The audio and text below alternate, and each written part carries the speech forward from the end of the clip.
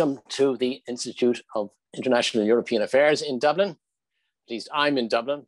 It's virtually in Dublin, but today we have a speaker who is would like to be, I'm sure, in Dublin. We welcome Steven Maijoor. Uh, have an interesting chat about capital markets union, state of play, and the way forward. Uh, you're all very welcome. We're going to talk for you know a while between ourselves, but uh, halfway through the hour, uh, I'd like to invite you to ask your questions. Use the Q and A button for that. Um, not the, I think it's the Q and A, but yeah, it's the Q and A function you're meant to use for that. And please identify yourself when you ask questions. It makes it more interesting when we, uh, who, who, are you and, and, and what's your affiliation? You can tweet about the event. The handle is at IIEA. Steven Maijoor is with me, notionally or virtually. I've known Steven for about 10 years since he actually, we, we both swam into uh, European financial affairs. He, uh, he, had been in an official capacity before then. Steven has been an academic uh, at the University of Maastricht, which of course is a, a, a great place to be a, an academic from the point of view of European financial integration. Uh, he then moved from that to the Financial Markets Authority of the Netherlands. But then, when the European Securities Market uh, Authority was set up, ESMA, in 2011, he became the first chairperson. And uh, that has been his role for the past 10 years. It's coming a role that's coming to an end. He's not allowed to take more than two five year terms. So at the end of this month, he will no longer be the chairperson of ESMA. So we are lucky to have him at this moment to um, speak to us about something which I think is uh, an essential, it is really a, a core activity of, of ESMA. ESMA is an, an institutional anchor, maybe the institutional anchor, maybe it should become more of an institutional anchor of the Capital Markets Union. Anyway, I can't think of anybody uh, more uh, equipped to talk to us about Capital Markets Union, where we are, where we're going, than Steven Maijoor. Steven, do you want to start with a few opening remarks? Absolutely, and um, thank you very much, um, uh, Patrick, for for that introduction. Uh, thank you very much uh, also to the um, uh, Institute uh, of European and International Affairs of Ireland for uh, inviting me to speak. As you just said, we I would have preferred to be in Dublin. I always try to be in Dublin at least uh, once a year. Uh, we have, as an authority located in Paris, we've always had very good relationships with uh, the uh, relevant uh, interlocutors in, in Dublin. We have had, obviously, the Central Bank of Ireland, which you've headed yourself, is a important member in the board of, of supervisors of ESMA. We have had regular contacts with the Ministry of Finance and also obviously the industry, the financial industry in, in Dublin is very important, in Ireland is very important, uh, and especially the, the fund industry. So thank you very much for having this opportunity uh, to have a dialogue with, uh, with you. And let me also uh, congratulate the Institute with the 30 year anniversary. It is important that we have these type of uh, debates, uh, and the institute has been very important in um, uh, supporting the debates. So what I indeed would like to do is, as a few um, opening remarks, uh, briefly uh, reflect uh, on CMU, and I will try to limit to five to 10 minutes. And the three key elements that I would like to raise around CMU are, first of all, and it seems to be so logical and bread and butter, but you know, why, what is the rationale for having a bigger role for capital markets in the EU? Secondly, a few high-level remarks uh, on the uh, plan as um, uh, published by the European Commission uh, in the autumn of last year, and then a, few concrete action points, including also uh, in the area of, um, uh, of supervision. So let me first go to this first point on why is it important to have a uh, bigger role of capital markets in the uh, financial system. And I think the key argument is that is that it would strengthen and improve the financial system, and that the current dominant role uh, of the banking sector is making the financial system and ultimately uh, also the economy makes it, it makes it weaker. And it's a, it's a structural weakness that we should try to address. And interestingly, uh, also the banking community and, and the ECB, as you know, uh, Patrick, has been very supportive uh, of the capital market union because indeed seeing uh, that there are some weaknesses with having a relatively large banking sector and a relatively small uh, capital market sector. What are these weaknesses? Well, first of all, I think you could make the argument is that a financial system in which uh, the uh, banking system plays a very extensive role is also one which is more risky, and that if there is a downturn or a crisis, has more um, problems to uh, recover. Uh, and and I think the the real life experience has been probably the the financial crisis in which we were both involved uh, when we were sitting at the ESRB is that the financial crisis in Europe was especially deep and slow to recover. And I think the banking system, the very dominant role of the banking system, played a role in that. The other element, of course, is, is that households, uh, and other problem with the European system is that households tend to save through deposits rather than participation in the capital market. And we all know from our textbooks, from, uh, uh, from university, from, from finance, is that in the medium to long term, if you want to have better returns on your savings, you need to participate in the capital markets. And the fact that somehow European households are still over saving in deposits and relatively modest into uh, equity uh, and funds uh, or even bonds is that that reduces the abilities of households to do on financial planning, is to save for the medium to long term for educational uh, expenses, for housing expenses, for uh, retirement. And finally, probably the, the, the, remark that I would like to make is that a, a system in which uh, banks play a dominant role is probably also a system where debt plays a more, more important role. Uh, and so if you want to have a financial system that encourages more innovative economic activities. Typically, innovative economic activities are better off uh, with having a more flexible financing system, like, for example, you have with equity. So that may maybe very briefly, but it will be good to, you know, happy to discuss that further. Secondly, on the um, the CMU action plan as it was um, uh, disclosed uh, and published by the Commission uh, in September of 2020 of last year. I think a few high level remarks. I think the first thing what I thought and think is really good about this is that we are moving away from not only focusing on let's say funding channels. So there's been a there's been a big focus in previous in the previous capital markets plan on let's say let's try to standardize securitizations and let's try to get barriers away across the member states there or let's try to get barriers away in the fund industry.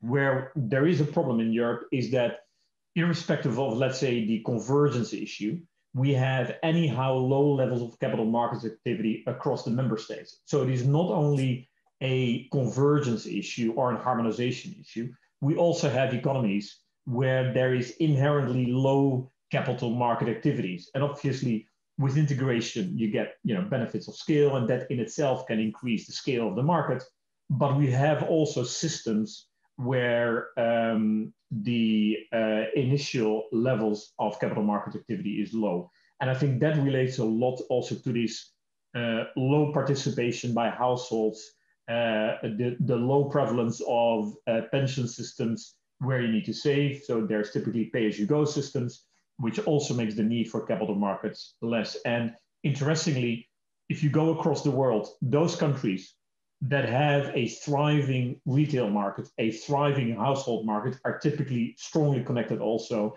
with generally strong capital markets. So if you go to the US, the UK, but even in the EU, uh, for example, in you know UK and US are known for capital market system where there's deep and liquid markets, but also the households, the end investors are participating in the capital market.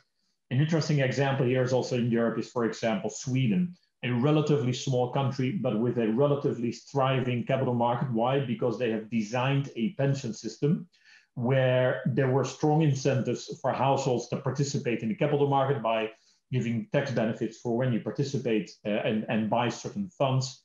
And I think that is an issue that we need to work on also in the Capital Market Union uh, plan. And therefore, I'm very happy that the um, Commission also has this perspective of the household, or the end investor in their uh, CMU.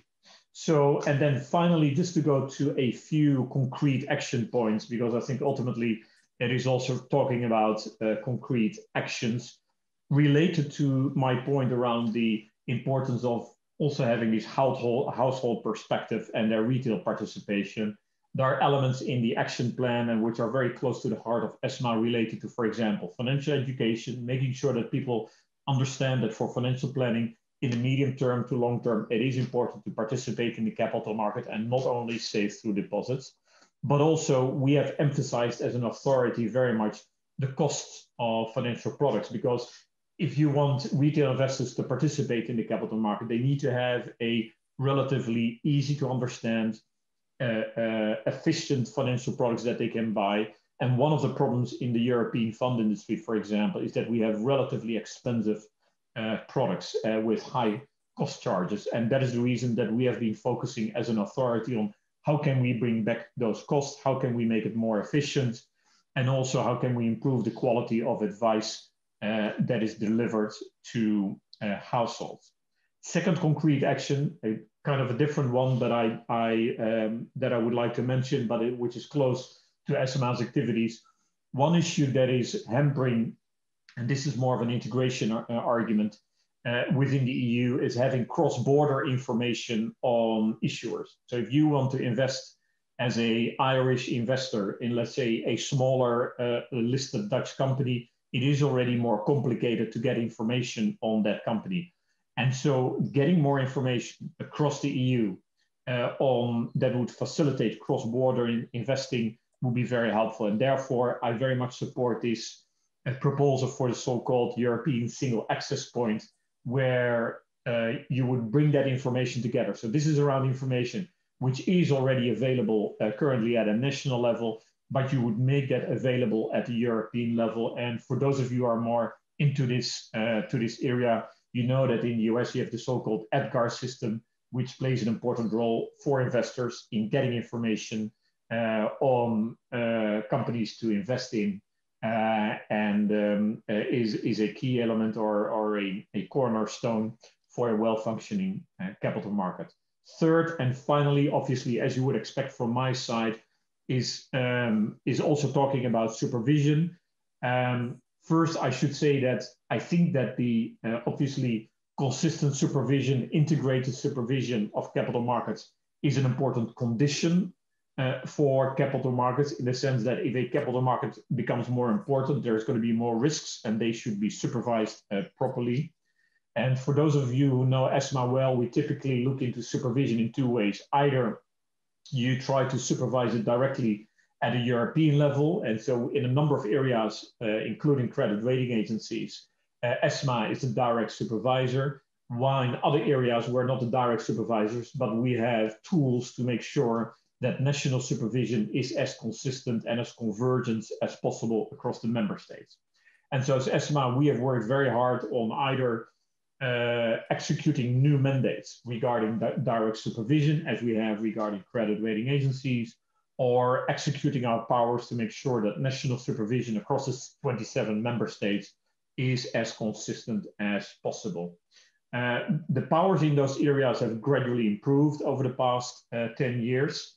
Uh, and I would hope that these powers would further increase in the years to come, especially as, for example, uh, with Brexit, the number of key financial centers will also increase. So rather than having one local financial center that is dominating the landscape, which we had to some extent before Brexit, it will change where we will have multiple financial centers, including uh, Dublin being one of them. But then it's important that if we have different financial centers across Europe, is that the, supervision uh, under which they are is that that is uh, consistent. So I would hope also from that perspective that the convergence powers will further strengthen. And finally, on direct supervision and maybe also to stimulate a debate there, although I, I know that CCPs are not a key market infrastructure in, in, in Dublin, uh, I would hope that also there's going to be more market uh, direct entities under supervision of ESMA. And I would say that European CCPs would be the first logical ones to move to uh, direct European supervision. We're already supervising third country CCPs, and I think it is a bit asymmetric that we're supervising third country CCPs, but not the European ones. So let me stop here, uh, Patrick, and uh, happy, of course, to discuss further during the, uh, the fireside chat and, and later on during the Q&A. Thanks very much. You laid out some interesting topics which uh, dovetail nicely with the thoughts that I had issues I wanted to raise with you. And I'd like to start at the end where you're talking about a possible greater role for, for ESMA into the, into the future. Uh, I mean, as uh, I remember actually uh, here at the IIEA, uh, Lamfalussy coming along to, to explain to us all, and I think I was the chair on that occasion, uh, to explain to us all the his idea of committees for, for banking supervisors, for security supervisors, and, and for um, insurance and pension fund supervisors. and that, that's a long time ago now. And uh, maybe 20 years, something like that uh, ago. And then the Lamfalussy committees were strengthened in 2000, after 2009, the Larosière uh, said no, they, they, they, should be they should have a, a more structural role and, and you know um, uh, staffing and, and, and greater powers, and that happened to uh, for all three to the European Banking Authority and the EIOPA and ESMA. Though in some ways ESMA may not have been given as much autonomy or, or, or power as uh, that, that's said by some people. I, I'm not close enough to it, but but the role of ESMA, as you lay out in, in your in your uh, you know your annual reports and, and so forth, uh, there are four dimensions to it, and they're quite varied. You have assessing risks, and by the way, I notice from your latest dashboard, there are 10, uh, 10 sort of risk areas, and they're all flashing either uh, orange or red. In other words, high or very high. And five of them are very high. So, but let's put that aside for a moment. So that's the assessing risks thing, which which you do. You have the the formation of the rule book or the a common rule book across Europe, and you have a key role, I think, in, in influencing the Commission, advising the Commission on on uh, what they should put into what is their uh, responsibility and what they should recommend to the Parliament for for, for primary um, uh, primary uh, legislation, and also you have your own authority to do. You have there are 28 primary acts of the European Union which come under your your remit. This is a monster uh, challenge to be in charge of so many uh, legislative areas with a comparatively small staff and this um, collaborative arrangement, basically your deciding body is a committee of all the member states. Um, and you chair that committee, big committee now. Um, you don't have a vote, but you chair you chair the committee. So it's a, it's it's not a, a structure which is designed for a rapid executive action. Then, but which would have to be the case if you were to be given, if ESMA were to be given greater supervisory powers. You, you can nudge and push and encourage convergence and, and consistency, but you only have direct powers in very limited areas, as you mentioned. And you said, well, maybe they could, could add Euro CCPs. But, but if we're thinking along a horizon for the next 10 years, uh, probably it should go a lot further than that. And probably we should be thinking in terms of something like uh, ESMA becoming a European SEC. Um, now, nobody can can accuse you of, of empire building because you're you're you're departing the empire. Um, what, what, do you what do you think about that? Is ESMA something that needs a leap forward in its powers, its funding, um, and it, its mandate? So thank you very much uh, for that question, um, uh, Patrick. May, uh, so maybe first, I, I I do get a vote. I, I do get to vote now. So I've that has okay. changed. That has changed in uh, uh, that has changed in January 2020. And so uh, since January, on certain decisions, not all decisions, uh, but if it would be around supervision, for example, I can I can vote. Um, on maybe a, a, quick reaction to Um, the, the, the key issue, in my view, in terms of taking decisions, is not so much the fact that we have 27, because we can we can gather quickly and we can and there's majority voting, and so the real issue is more indeed the lack of powers rather than the governance in decision making. I think some people think that if ESMA would become uh, a, a, more direct supervisor, then there needs to be you know a smaller group taking the decisions. In reality, we are now we know we have enforced we have we have we uh, uh we are directly supervising credit rating agencies. The day-to-day supervision is done by a team within ESMA. Um, and the um, uh, and when we need to enforce, we do we take a decision in the board, and actually that has gone quite well. I think the real question is around um, uh, the powers and to what extent should we have further direct supervisory powers. Maybe a few comments on this one. But first of all, I agree with you is that the current structure, and it will not surprise you, is lagging the uh, is lagging the current integration of financial markets. So I, you know, to some extent, markets are more integrated than supervision are, and I, I, I agree with that view. Um, and uh, and in that sense, I think it's important to realize that people sometimes think about European capital markets as national markets, and then suddenly decisions of ESMA to get involved in national issues. But the real the reality is we have already very specialized markets across Europe, and to some extent Amsterdam, Dublin, Paris, and, and Frankfurt are examples of this in the sense that uh, these are not all national, you know, to use this horribly popular term, ecosystems. This is already a European capital market where we know that Luxembourg, together with Dublin, plays a very important role, and that in other parts of Europe there is a very small industry, and that there's already been uh, uh, benefits to skill economies. There's been the buildup of, of expertise. Uh, but the same you can say regarding trading venues um, and uh, and also to investment firms. And so yes, I think you could make the argument is that markets are already more integrated than regulation is. And so in that sense, we should at least maintain the pace. And so to have the picture of the past 10 years, when we started, we were much smaller and our powers were much more limited 10 years ago. So we did only credit rating agencies and our powers to assess national supervisory practices were much more limited. And so in the 10 years, there has been a gradual strengthening of our powers. There's been additional direct supervision, like there's now been added the, the credit rating agencies, but also critical benchmarks will be added. Um, and there's been also an improvement of powers regarding uh, convergence. But still, if you would look for 10, 15 years ahead, I still would think that the model will not be a European SEC or a European SSM in the sense that this is around conduct supervision.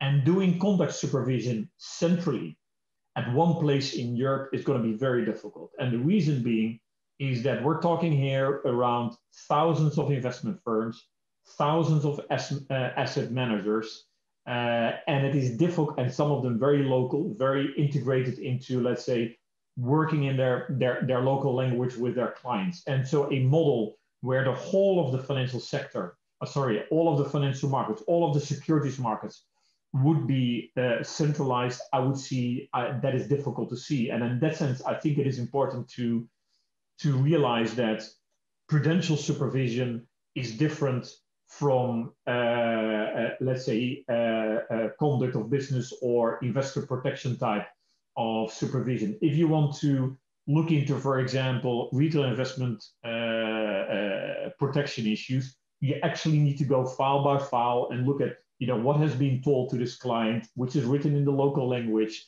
did it meet the requirements, etc. While prudential supervision to some extent is more homo homogeneous and in that sense also operationally uh, more easy to organize. So maybe maybe a bit of a complex answer, but maybe to, to say it short, yes, we should progress. Yes, I think it is lagging, but I think even in the more end model, there will still be a relatively significant role for, let's say, local operations because of this issue around the fact that conduct supervision, uh, retail investments supervision also relates to thousands of interactions with individual investors.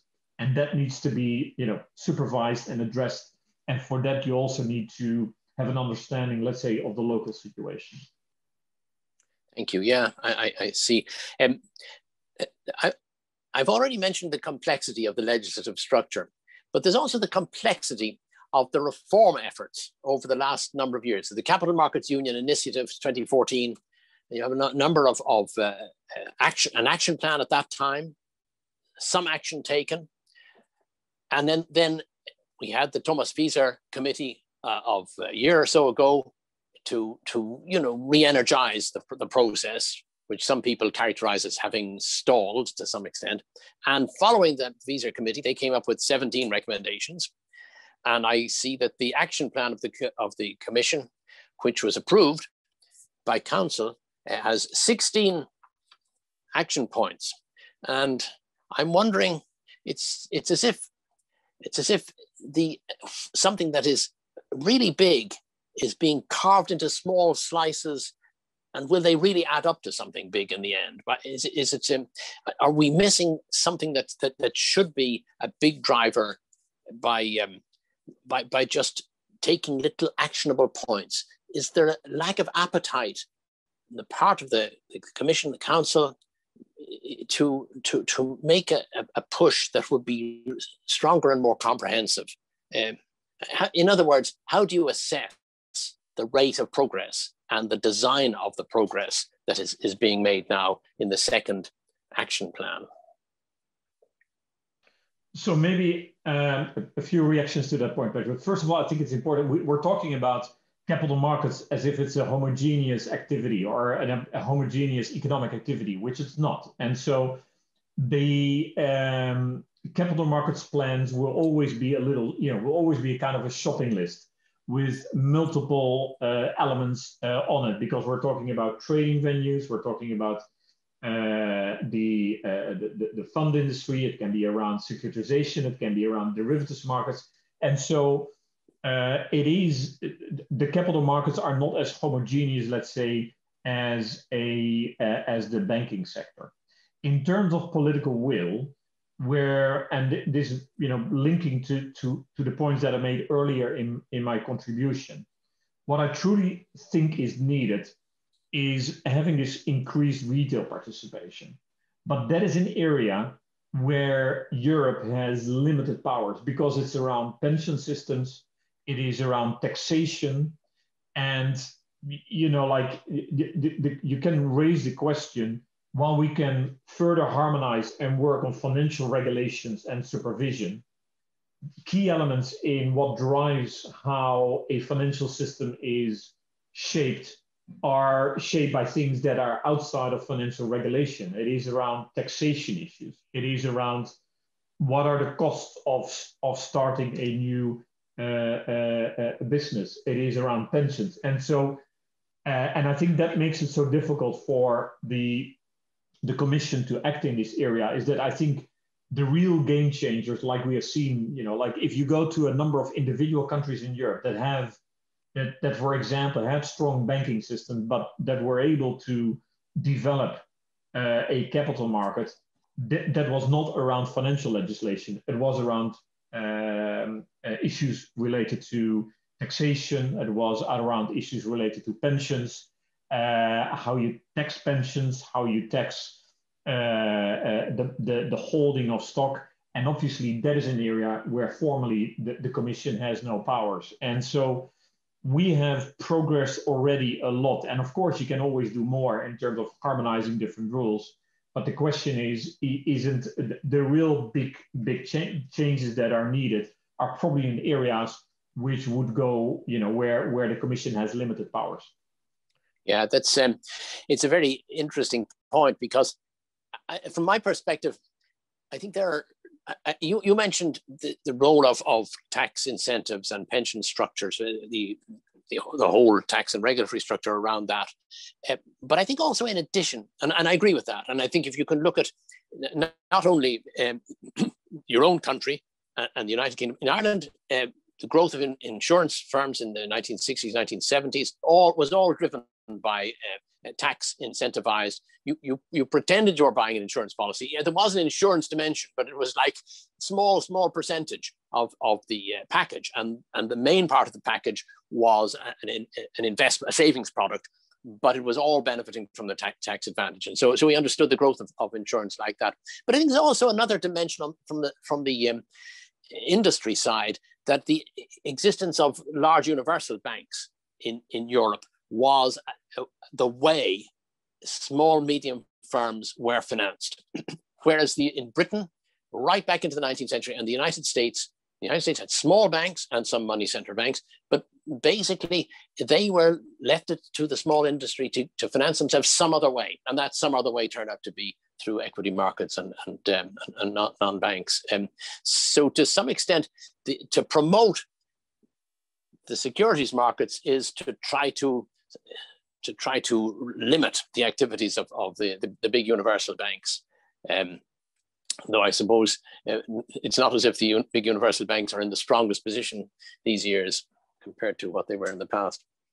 No, but uh, uh, you're right. I think that that element uh, certainly uh, plays a role, and uh, but we should realize that also banks will play an important role uh, in in capital market activity. Although it will be much more, let's say, fee based, and it will not be, you know, it will not be reflected in in the balance sheet, but it will be more reflected in in profit and loss. but obviously, capital market activity requires heavy involvement of investment firms investment firms that are linked and have you know parts of of, of banks. Uh, but but I, I I think you're you're right is that there is also an element of ultimately it's also about market shares that are impacted by a, a bigger capital market.